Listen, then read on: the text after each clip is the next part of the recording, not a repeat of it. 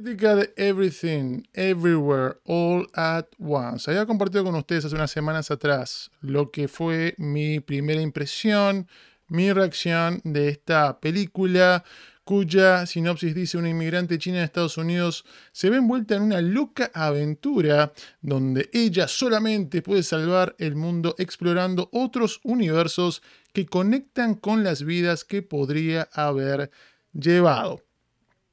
Está escrita y dirigida por Daniels, es este dúo de cineastas responsable por la película Swiss Army Knife, y cuenta en su reparto con Michelle Yeoh, Ki Hui Kwan, eh, Stephanie Su, James Hong, Jamie Lee Curtis, entre otros. Como ustedes saben, disfruté mucho el multiverso de la locura, Doctor Strange, segunda parte, pero como dije en redes sociales, mi película favorita de multiversos en este año.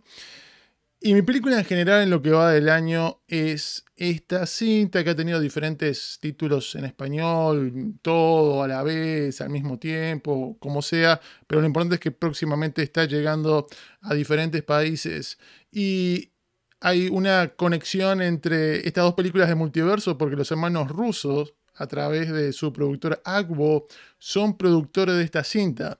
Así que dos cineastas que, han estado muy conectados con el MCU, con Doctor Strange en el pasado, también son responsables de esta cinta, que tiene algunas cosas en común y no tanto.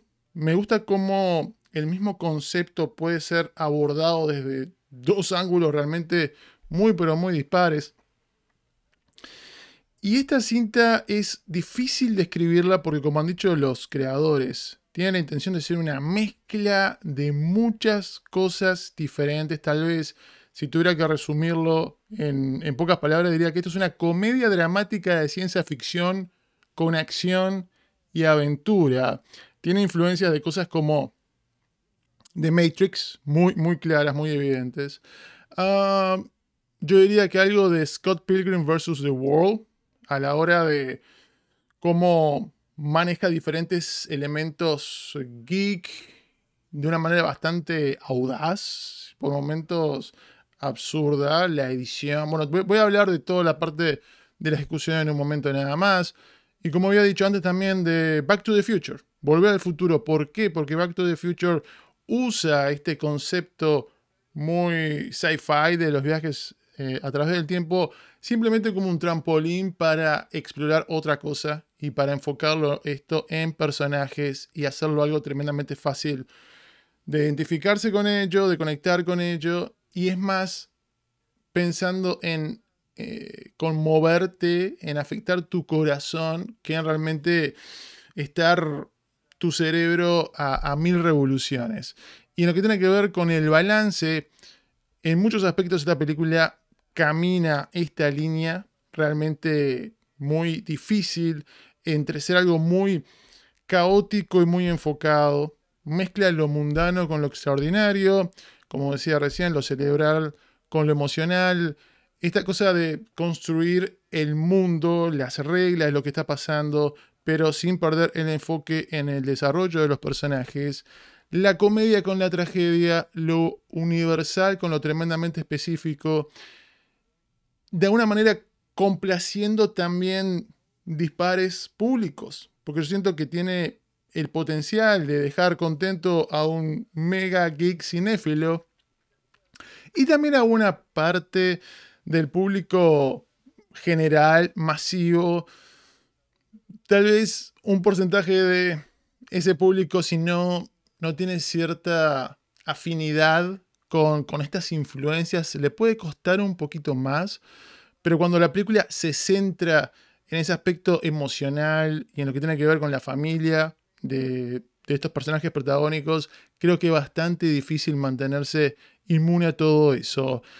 La historia es muy contenida dentro de, de este concepto evidentemente expansivo, porque al final del día en lo que se centra es en algo con lo cual todos estamos familiarizados, ¿no? que es un poco la, búsqueda de la felicidad a nivel individual y familiar colectivo y juega con esto de qué pudo haber sido. ¿no? ¿Qué pudo haber sido si hubiese tomado esta decisión en vez de, esta otra decisión? Vemos en la película varias versiones de estos personajes, principalmente el personaje de Michelle Yeoh, tal vez unas 10 versiones en todo tipo de mundo, escenario. En Doctor Strange tenemos esa secuencia donde lo vemos al protagonista con América Chávez atravesando diferentes multiversos en una cuestión de segundos. Pero acá nos detenemos más tiempo y pasamos más tiempo explorando más cantidad de universos que la película que se llama Multiverse of Madness. Y me gusta cómo la película no, no se guarda nada. Digo, evidentemente este dúo de directores dijeron es ahora o nunca y tiraron absolutamente todo y expande este concepto a las conclusiones lógicas, ¿no? Que es algo que evidentemente te va a estar sorprendiendo, que va a ser refrescante, que por momentos va a ser confuso y hasta avasallante por la cantidad de diferentes elementos que, que, se nos están presentando, pero creo que es lo suficientemente clara para que nunca te pierdas de lo que es realmente importante y las reglas que establece lo hace de una manera efectiva en el momento adecuado y con mucho humor. Realmente creo que antes que nada la película es una comedia y misión cumplida porque realmente me hizo reír a carcajadas. Y en lo que tiene que ver con la historia, al final del día es, es esta exploración que acabo de mencionar, pero cómo uno puede buscar esa felicidad sin caer, sin perderse en el camino, ¿no? Sin caer en la desazón, sin caer en el cinismo, sin estar repitiendo ciclos negativos, ciclos tóxicos, y cómo poder evitar la depresión también. Y por momentos, evidentemente la película está haciendo, aunque no sea una referencia directa, pero queda claro el mensaje de cómo no, no nos podemos derrotar a nosotros mismos y evitar principalmente el suicidio. Y le doy mérito como una película que, quiere hacer tantas cosas y es tan ambiciosa y en la parte de lo ligero te hace pasar un gran momento y es un gran Carl Pleaser, también tiene este enfoque bastante profundo, como, digo, grandes temas, la felicidad, la identidad, etcétera, etcétera, etcétera. Y al final del día esta cosa muy positiva, muy esperanzadora de, de nunca perder esta chispa, nunca perder la capacidad de asombro, ni de reconocer las cosas bellas que tenemos en la vida y las pequeñas cosas que hacen la vida eh, no solamente llevadera, pero sino disfrutable y que valga la pena absolutamente todos los obstáculos. Muy emotiva la cinta, Ah, muy creativa, en lo que tiene que ver con la realización, evidentemente mucho trabajo, desde, ya desde la preproducción para armar este rompecabezas, porque evidentemente cuando filmaban, por ejemplo, lo que pasaba en el universo A, ya sabían que en el universo A iban a haber escenas que iban a conectar con la película al minuto 20, pero también con la película a la hora y 15. Entonces ya tenían que estar pre-planeando todo eso para poder ir armando y compaginando todo. Un equipo muy pequeñito, una película de A24, con pocos recursos comparado con otros blackbusters, evidentemente. Y en lo que tiene que ver con la dirección, lo que tiene que ver con la edición, lo que decía hace un rato.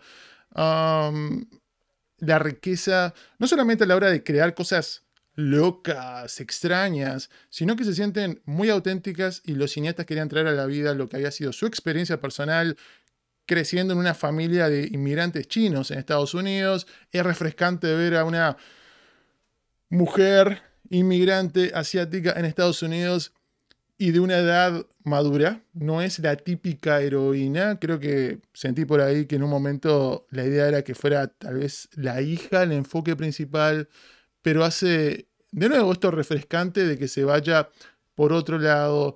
Gran oportunidad para todos estos actores. Michelle dio, eh, evidentemente, flexionando unos músculos diferentes a lo que hemos visto en el pasado, principalmente en la parte de la acción. Lo que ha hecho anteriormente, pero ahora, de nuevo, en la parte de acción también, pero momentos dramáticos, momentos divertidos, grandes escenas con Jamie Lee Curtis, que realmente son hilarantes. Ah, James Hong, toda una institución, lo vimos en Blade Runner, Big Trouble Little China, etcétera, etcétera, etcétera. Y a los 93 años creo que tiene, le acaban de dar la estrella en el Paseo de la Fama. Estaba bailando en el Paseo de la Fama. Genio, fenómeno absoluto, muy disfrutable. Hay una muchachita joven que se llama Stephanie Sue, que hace de la hija del personaje principal y realmente gran carta de presentación.